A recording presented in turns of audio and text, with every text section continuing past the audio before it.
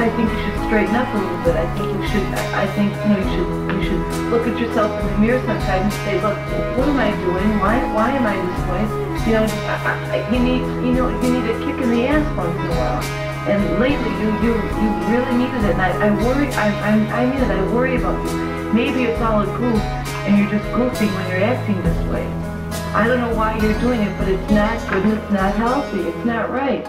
Not that I'm saying you don't have it together. I'm sure you do. You're you're a genius, and you really are. You're a genius. I know. I know.